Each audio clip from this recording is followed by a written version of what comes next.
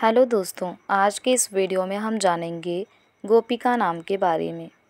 अगर आप अपने बच्चे का नाम या परिवार में से किसी का नाम गोपिका रखने की सोच रहे हैं तो पहले इस नाम के बारे में पूरी पूरी जानकारी लेना आपके लिए ज़रूरी है।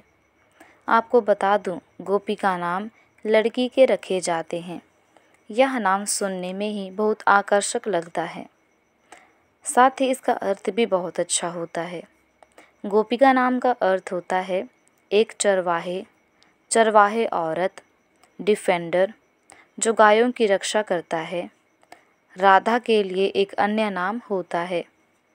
इसके अर्थ की वजह से गोपिका नाम को बहुत से लोग पसंद करते हैं। साथ ही ये लोग अपने नाम के अर्थ की तरह ही होते हैं। इनका धर्म हिंदू धर्म होता है।